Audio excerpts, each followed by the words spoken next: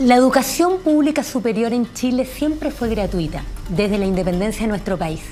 La dictadura cívico-militar eliminó la gratuidad en la educación pública superior y le quitó financiamiento y por lo tanto se transformó en un precio, en un bien de consumo.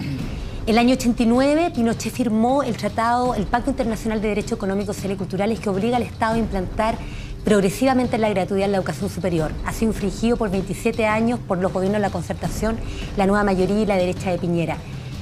El gobierno de Bachelet tampoco va a cumplir. Incluso se creó el CAE, que significa la intervención de los bancos y transformar el bien de consumo en un negocio bancario financiado por el Estado.